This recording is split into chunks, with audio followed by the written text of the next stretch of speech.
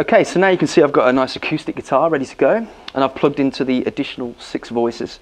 Um, all we need to do to do that is simply just press the voicing switch and the LED will go from red to green. So now we get two acoustic guitar voices. The first one is very much a flat response, so it lets the guitar do the talking, so to speak. The second voicing, acoustic number two, is more of a dynamic sound, so it kind of gives it a bit more mid-scoop, uh, and it's really good to bring to life a guitar that might not be uh, as higher priced, if you get my meaning. So let me show you those two sounds by just strumming some, some chords. Here's the first acoustic voice.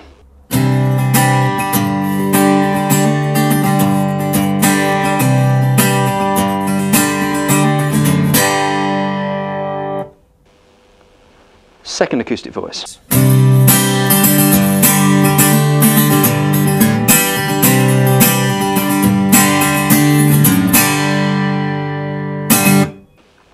Now we can introduce some effects. So very much like an acoustic amplifier will give you, you've got four choices of reverb here instead of just a couple. You've got four choices of mods, four choices of delay, so you can really spread it out. But let's go for the first acoustic voice, because I prefer that in this moment. Let's put some reverb on, so maybe a little bit of hall reverb.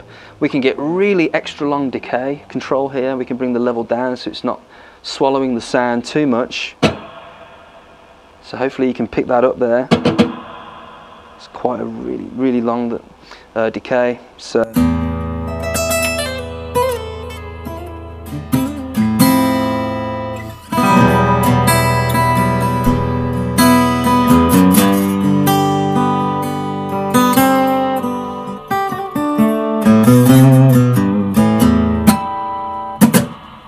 Then we can maybe introduce some chorus as well, which is like a nice standard setup for an acoustic guy.